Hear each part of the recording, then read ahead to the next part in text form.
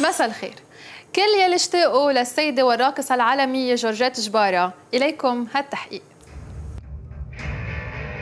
أين هي الراقصة العالمية جورجيت جبارة اليوم؟ وماذا عن استضافتها في مهرجان فجيرة الدولي للفنون؟ أهلا وسهلا فيك سيدة جورجيت جبارة على شاشة الجديد. مؤخرا زرت الفجيرة وتحديدا مهرجان فجيرة الدولي للفنون. خبرينا أكثر عنه. فجيرة أنا كنت ضيفة شرف. للمهرجان الدولي للفنون. يعني شيء كتير كتير كبير. كان في 21 دولة معزومة وعم بتقدم عروض وعم بتع... حفلات منهم لبنان.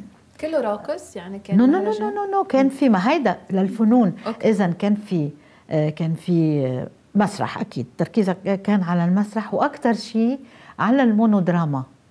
يعني شخص, واحد. بيمثل شيء مع كثير أوقات مع نوع من رسالة.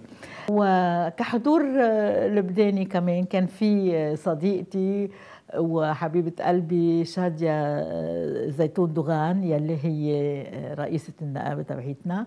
وكان في ندى أبو فرحات قضينا كثير وقت مع بعضنا. وندى تجوزت من فترة كمان. ما أنا قالت لي وشوشتني حبيتيها ب Dancing with Stars كراقصة لندى. هي كنا بالاتصال كل الوقت إلا أعملي هيك أعملي هيك انتبهي هيك بتجنني.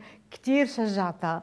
وبتجنن يا ريت المونودراما تبعها بديعة راح على على هال على محل مهرجان هيدا أه.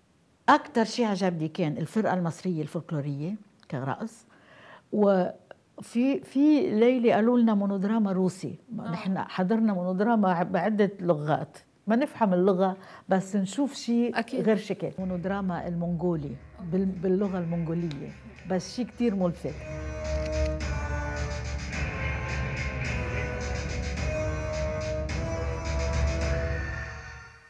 اليوم حضرتك متزوجة من السيد عريضة وعندك مدرسة للرقص رقص الباليه تحديدا شو نصيحتك لكل هالجيل الجديد يلي بحب الرقص؟ ما حدا بيقدر يكون professional مية بالمية إلا ما يكون مارس رقص الباليه الكلاسيك أو رقص حديث من المدارس الكبيرة هلأ حلو يتسلى بال hip hop وبالزومبا وبال هودي ما بيوصلوا لمحل.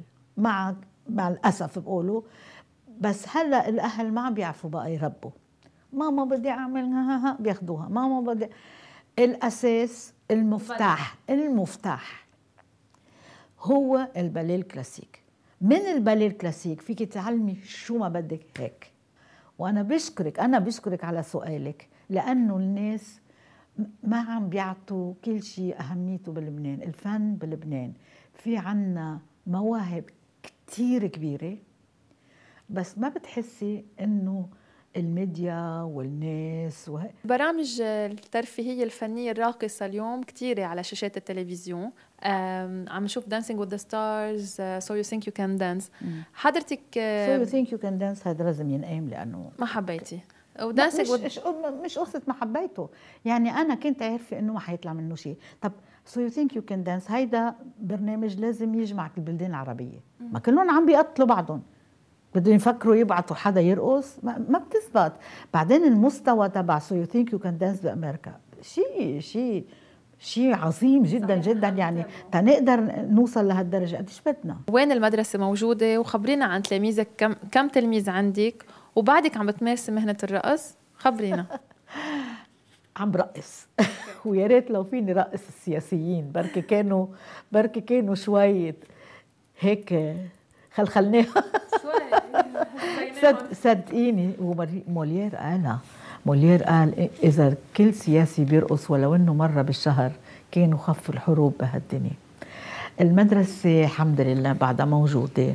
وكنت حابة يكون عندي مساعدات كثير عندي مساعدات بس مش هي وين موجودة اليوم؟ المدرسة بذوق مصبح وشو يعني اسمها؟ ما ح... ما ح... École Libanaise de Ballet المدرسة okay. اللبنانية للباليه وما حقول لك أكثر لأنه بدك تيجي تزوريني. أكيد بدك لازم. كل الناس لازم تعرف هالمدرسة وأنا الوحيدة يلي بعلم ال system الروسي. هل ممكن تشاركي بأحد البرامج آه، كعضو بلجنة التحكيم؟ إنك إذا بيكون شيء على مستوى ليش لا عم تتواصلي بعدك مع كل كنت تكوني معهم بجبري يعني ومع أستاذ سيمو أسمر؟ يي أكيد سيمو حكاني من من شيء الجمعة. قبل ما أسافر أستاذ حكاني. روميو هلأ عملت له أنا الرقصة بمسرحيته. رجع عملها. وناي وبابو وهودي أصحابنا. من مرتقى لحزميه دارين شاهين. قناة الجديد. بدنا نقول مبروك لصوفيا المريخ. عن شو عم بحكي؟ منتابع سوا.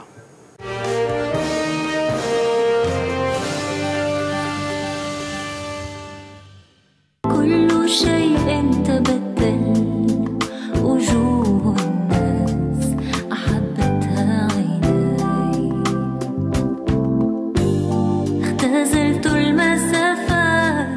المريخ التي اشتهرت ببرنامج ستار أكاديمي بموسمه الأول هي اليوم فنانة معتزلة بسبب زواجها من رجل أعمال مغربي. وقد انتشر فيديو يظهر صورا من زفافها مع زوجها الذي قررت الاعتزال من أجل الارتباط به. وقد ذكرت جريدة العرب اليوم أن صوفيا أقامت حفل زفافها يوم الخميس في العاصمة الإدارية للمملكة بشكل سري في حين أنها كانت تحضر لهذه اللحظة منذ قبل شهر رمضان المبارك. الحفل جرى في أحد الأحياء الراقية في الرباط في حين أن زوج صوفيا المريخ يشغل منصبا مهما في إحدى الشركات المكلفة بتموين وتجهيز القصور الملكية المغربية ويبقى السؤال ماذا عن مصير العمل المشترك بارولي بارولي الذي جمعها بالفنان العالمي ألان دولون والكليب الذي صور لهذه الأغنية Around the world for the deal of a lifetime.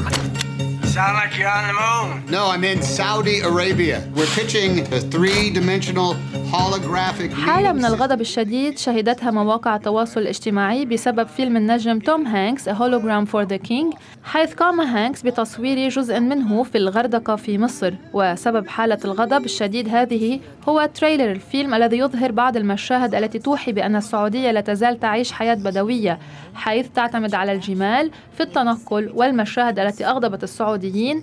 ظهور أحد سائقي عربات النقل بأسنان صفراء.